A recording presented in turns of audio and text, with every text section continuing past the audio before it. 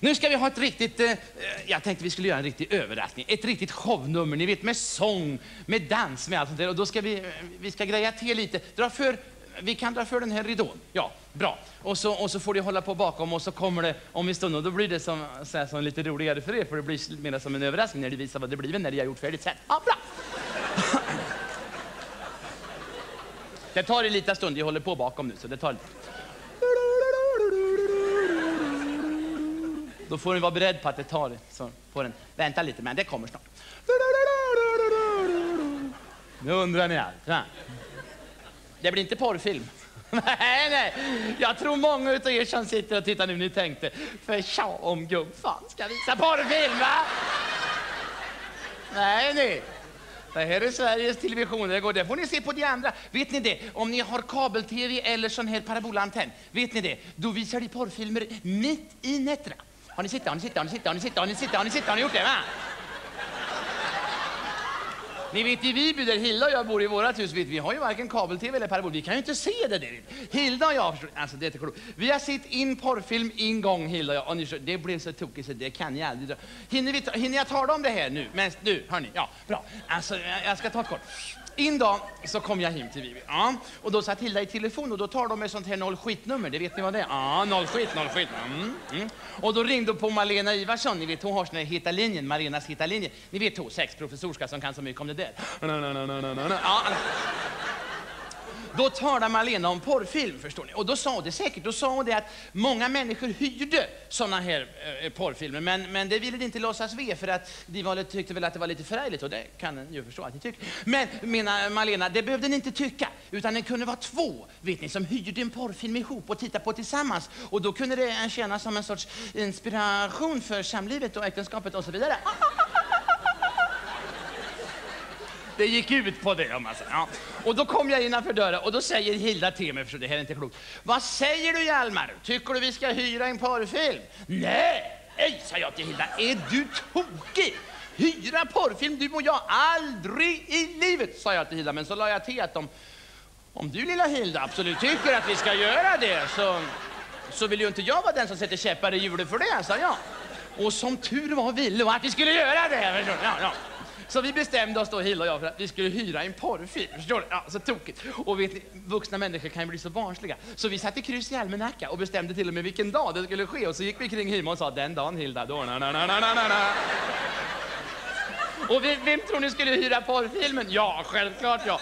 Och jag är ju inte blyg, det är ju inte det. Och ni vet när ni åker ut från Kumla, om jag säger till vänster så ligger in bensinmack. Och där har de videofilmer och sen bakom ett skynke så har de porrfilmer. För jag har sitt andra. Som har varit där före mig, så jag vet att jag vet ju att det är det de har.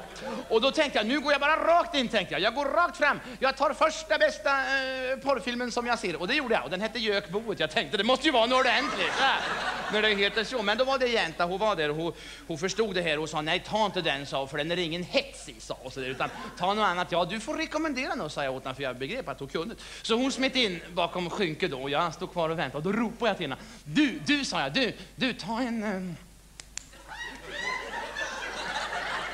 Ta en riktig jävla dyngrulle, sa jag till henne. Vad fan, en vill ju inte dö nyfiken, det vill en ju inte göra, eller hur? Va? Nej, nej. Nej, ska, ska, ska det vara, ska det vara ordentligt, det tycker jag. Det ja. ja, då kom hon fram då till sist i alla fall och visade mig och sa, vad säger du om den här, så? Och ni förstår, det var en film som hette Utan trosor med Vilda Valle i Vekhyttan, hette det. Så den hade regionala anknytning, förstår ni vad jag menar? Och hon menar på att den här vilda Valle, han skulle vara jädra bra. Jo, hon var med! Vad hette hon? Den måste ni ju känna till. Vad hette hon? Pilska Pia från Mullhyttan, den! Ja. Det visste ni, ja, för hon var ju med för länge sedan i den där andra, långt ner i Hallsberg, som du gjorde för länge, länge. I alla fall, jag tog den. Och då, då, då fick jag visa lemitigation. Det tror ni inte. Det är säkert. Alla de som hyr porrfilm får visa lemitigation. Det är säkert. Så de ska veta vad det är för en jävla snuskbullar de har med att göra. Ja. Och så hem till Hilla vet ni. Och hon satt i soffan framför tvn och hade hällt upp kaffe och bakat bullar. För vi skulle ha lite mysigt när vi tittade på den där porrfilmen. Ja, alla fall. Och vi satt där och vi fnissade och skrattade och så sa Hilla, nu får du sätta fart på den där filmen. Och jag gick fram vet ni och tryckte i den där videokassetten och det rullade igång. Och jävlar vad bra det var hörni va! Jävla bra! Ja, det var så bra. Det var sån dramatik. De spelade så bra. De hade så fina repliker. De sa inte mycket, men det de sa, jävla vad bra de sa, hörni va? Och de hölls på ett biltak. Hela filmen igenom. De var uppe på ett biltak. Och ho, det kan jag tala om för er, hon var inte frusen nu då, så den inte där. Inte klädtrasan hade hon på sig på hela filmen. Nej, och han hade ju en jädrans jättetur att inte fick parkeringsböter, det får jag säga. För jag tyckte de höll på bra länge med det där. Och så var filmen slut, det var inte mer med det. Och jag, en är ju inte dummare än kan ju lista ut vad en sån där film ska handla om, det kan den ju göra. Men i alla fall, Hilda och jag vi satt och vi tyckte vi hade varit med om en kulturupplevelse tror jag. Ja. Och rätt vad det var blev Hilda, vet ni, gravallvarlig. Hon blev gravallvarlig Hilda. Hon bara stirrade mig rätt in i ögat. Plötsligt så sa hon bara backa ut duetten.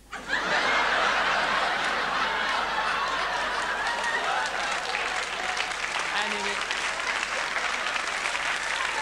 jag...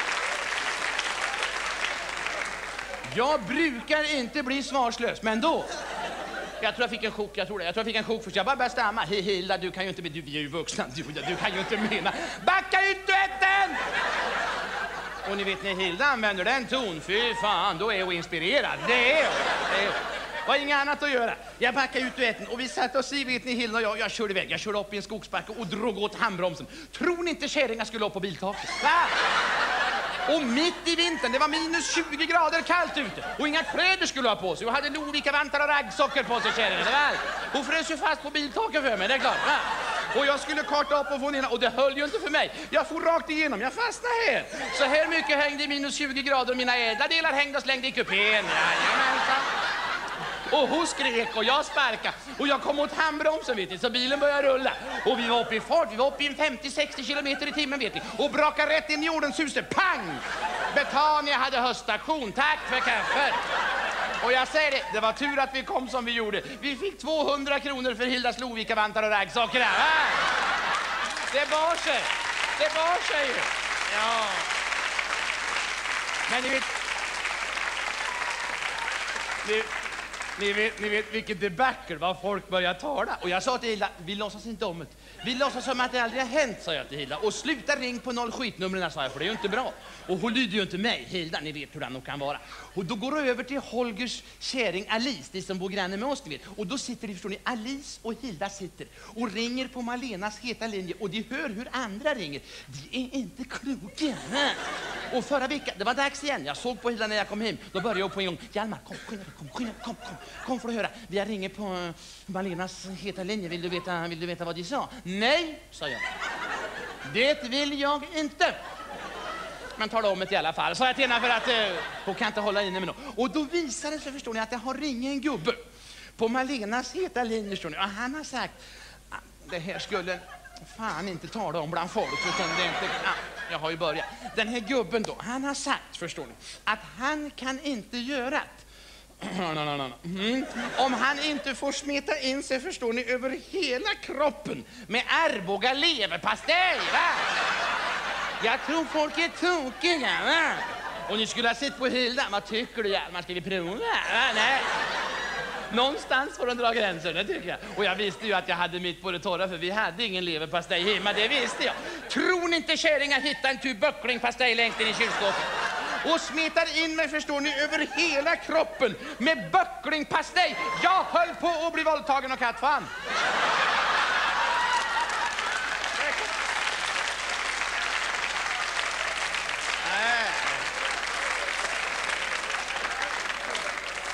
Två, två dygn satt jag inlåst i garderoben innan han gav sig den där tokfan. Så det här är mera som en varning menar jag till. Ring inte på nollskitnumren. Vad ni gör. Det är fara för liv och lem. Jag vet vad ni tänker. Jag ska se om det är färdigt. Ja, jojamensan. Det blir, det blir överraskning på slutet idag också. Hörrni, eh, om, om en vecka så, så, kan vi ju ses igen om ni har tid, om ni har lust och om ni har ork. Nu blir det tjusigt på slutet. Dröm vackra, goa drömmar. God natt och upp med ridån!